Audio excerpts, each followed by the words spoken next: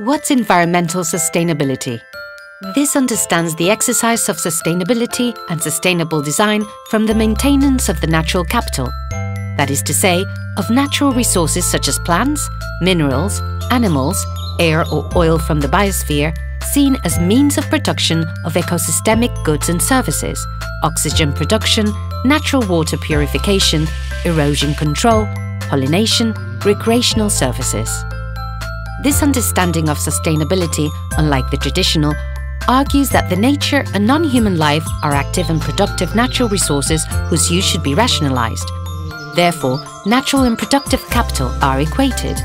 Similarly, its put into practice involves all metabolic issues concerning efficiency and energy, water self-sufficiency and water management as well as clear defence of the biodiversity and non-human life as great values of sustainable development.